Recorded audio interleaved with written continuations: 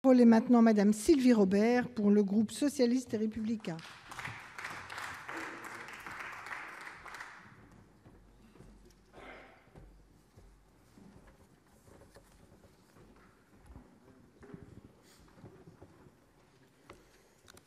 Madame la présidente, madame la ministre, mes chers collègues, au sortir de la commission mixte paritaire, le sentiment qui prédomine est celui de la déception. Déception car ce projet de loi avait pour finalité de favoriser l'orientation et la réussite des étudiants, comme le souligne son intitulé. Malheureusement, l'intérêt des étudiants a été progressivement perdu de vue au cours des discussions au profit d'autres considérations. Désormais, il n'est plus l'objectif principal et fondamental de ce texte. Premièrement, d'orientation, il n'en a finalement été faiblement question au final.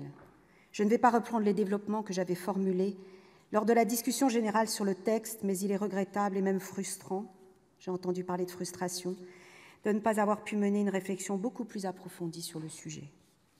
Cloisonner, ainsi notre réflexion empêche de penser globalement une politique de l'orientation ambitieuse qui créerait un continuum oui, entre le secondaire et le supérieur.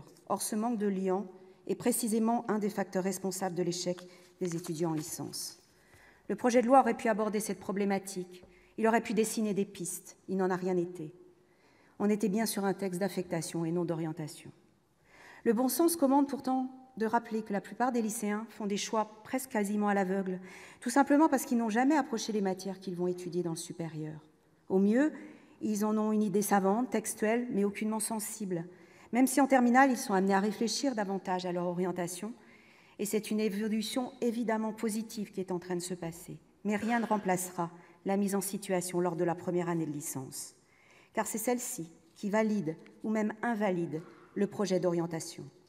Par conséquent, il y a bien un continuum évident entre l'année de la terminale et la première année dans le supérieur, où le projet imaginé se confronte en fait à la réalité des faits. C'est pour ça que ce continuum aurait dû être l'axe majeur d'une politique d'orientation en faveur de la réussite des étudiants. Il impliquait de changer radicalement de regard sur la première année à l'université, en imaginant peut-être tronc commun, passerelle, en somme en permettant à l'étudiant de peaufiner, de parachever son projet d'orientation. Nous aurions, c'est vrai, aimé ouvrir le débat. C'était le sens de certains de nos amendements. Il n'en a rien été. En introduction, j'évoquais notre déception à l'égard du texte issu de la CMP. En effet, Lorsque le projet de loi est arrivé en débat au Sénat, nous ne l'avons bien sûr aucunement rejeté en bloc. Ce que nous souhaitions, c'est que les conditions soient réunies pour assurer la réussite de tous les étudiants. Et c'est pour cette raison que nous avons soumis plus d'une trentaine d'amendements afin d'améliorer, afin de valoriser les dispositifs d'accompagnement mis en œuvre par les établissements, afin d'améliorer la procédure dite de dernier recours pour les candidats qui n'avaient eu aucune affectation. La majorité sénatoriale, on le sait, a fait évoluer le texte dans une direction complètement contraire à nos attentes, ce qui surprendra assez peu, mais aussi antinomique à la volonté, je pense, initialement exprimée par le gouvernement sur certains points du projet de loi, et j'y reviendrai. Il s'ensuit que nous ne pouvions pas nous ne pouvions que nous opposer à ce texte, qui se trouvait totalement dénaturé par les modifications apportées par la majorité sénatoriale. Nous n'étions plus dans une logique de réussite de l'ensemble des étudiants, mais bien dans une logique de sélection affirmée, revendiquée, assumée. Ce ne sont plus les étudiants qui choisissaient leurs universités et qui bénéficiaient éventuellement des dispositifs d'accompagnement. C'étaient les universités qui finissaient par recruter les étudiants de leur choix. Une telle logique, comme je l'ai exprimé en première lecture, c'était clairement entaché la promesse républicaine. Alors oui, nous attendions que la CMP, qu'elle rééquilibre le texte. Et nous sommes d'autant plus déçus que ce rééquilibrage n'a eu lieu qu'à la marge. Pour étayer mon propos, je prendrai deux exemples concrets qui constituent pour notre groupe politique des lignes rouges. En premier lieu, il s'agit de la manière de déterminer chaque année les capacités d'accueil des formations du premier cycle. Initialement, rappelez-vous, mes chers collègues, était inscrit un principe général dans le projet de loi du gouvernement, selon lesquels ces capacités étaient, je cite, arrêtées par l'autorité académique après proposition de chaque établissement. Nous y étions favorables.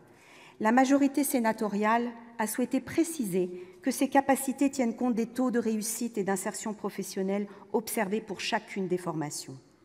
Alors que notre système devrait faire preuve d'une souplesse manifeste pour adapter ces formations, eu égard à la rapidité des mutations qui traversent nos sociétés, par l'intermédiaire du numérique, mais pas seulement, l'intelligence artificielle, le risque était bien de figer les offres de formation, de scléroser la dynamique académique, voire même d'empêcher potentiellement les étudiants d'intégrer des filières d'avenir, ce qu'on a appelé beaucoup dans nos débats les métiers de demain.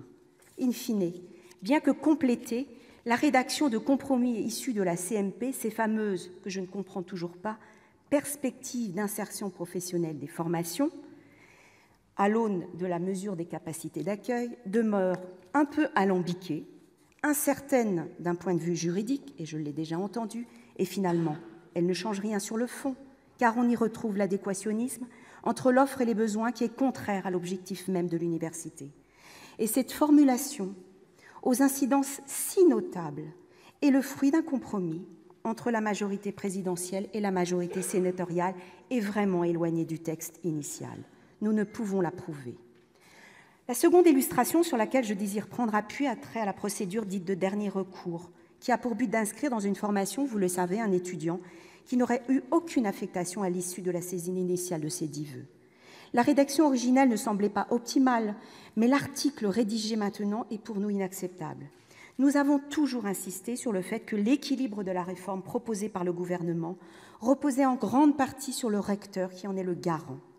Certes, la CMP est revenue à cette idée en conférant de nouveaux recteurs, c'est vrai, le rôle essentiel d'affecter un candidat dans une formation tout en supprimant le droit de veto de l'établissement dans cette procédure. C'est une bonne chose.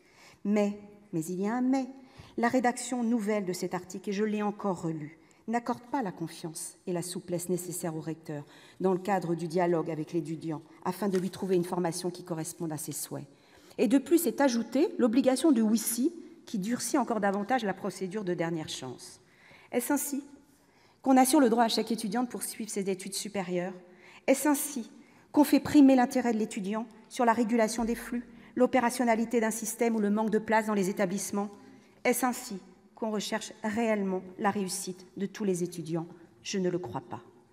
Ainsi, bien qu'ait été retirée l'augmentation des droits d'inscription pour les étudiants extracommunautaires, nous ne pouvons souscrire au projet de loi issu de la CMP. L'adage veut que la précipitation soit mauvaise conseillère. Sûrement, Madame la Ministre, était-il nécessaire pour vous d'obtenir un accord rapide entre les deux chambres afin de donner une base légale à Parcoursup qui est d'ores et déjà rentré en vigueur? Sûrement, y avait-il urgence? Mais cette urgence devait-elle se régler au détriment de l'intérêt des étudiants? Non seulement je ne le crois pas, mais je le regrette sincèrement.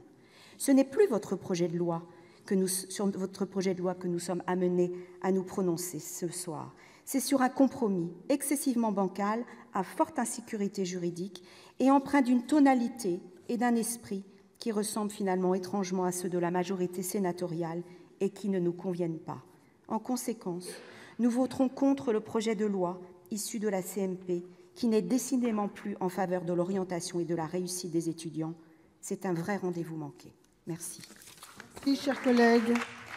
La parole est à Monsieur Laurent